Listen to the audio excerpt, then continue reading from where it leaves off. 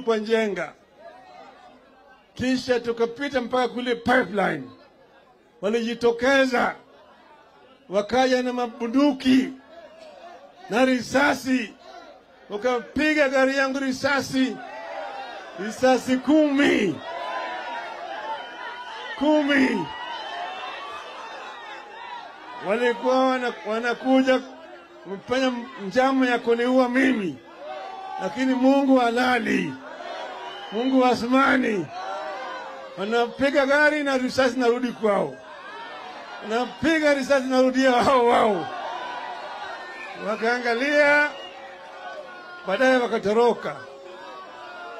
Huyu kijana alikuwa anataka kuua mimi, anataka kule Sugoi, alitumwa. Yeye alijui mimi, yeye anijui mimi, mimi sina haja na yeye, na haja na wale ambao alituma yeye, si wale ambao yeye.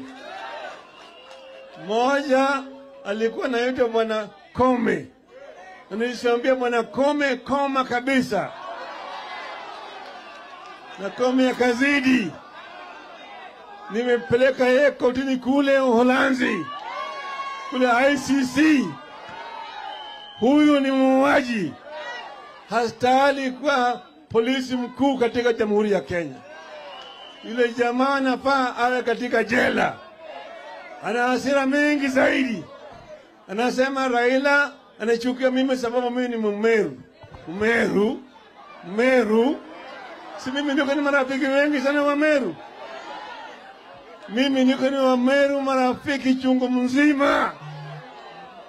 Najua wa Meru ambaye wanasimamia haki, Gitobo Imanyara, rafiki yangu, rafiki yangu kabisa.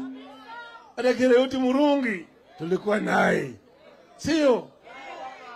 Dr. Laibuta tulikuwa naye, tuko na Wameru mengi zaidi.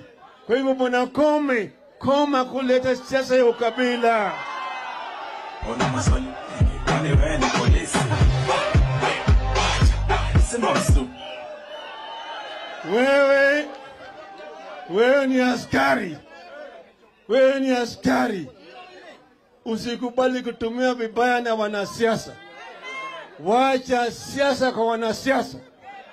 Wewe kazi yako ni kulinda wananchi, maisha yao na mali yao. Hiyo ndio kazi ya polisi. Msara yako ni usuri yangu, ni usuri yetu. Msara yetu ni usuru yetu. Nyumba pale unaishi, usuri yetu. Hiyo gari unaendesha, suri yetu. Ofisi pale ambaye unakaa, suri yetu. Ile ile nini, ile ile chakula unakula, ile bunduki unabeba, risasi. Wewe ni mtumishi wetu, wewe ni mtumishi wetu, wewe ni pagazi wetu. Sawa sawa. Sasa wakati ule sisi tulikuwa tumetembelewa na viongozi wa kanisa wa Katoliki wakiongozwa na Askofu wa nyolo na Askofu Kivuva na Muheria, walikuja kukutana na sisi wakatuomba ya kwamba sasa tuko katika kipindi cha Pasaka. Tunaomba nyinyi mwahirishe hii maandamano kwa, kwa heshima ya Wakristo.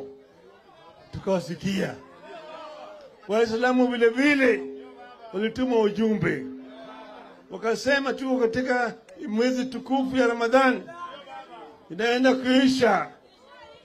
Sasa inakuwa kama mnafanya maandamano,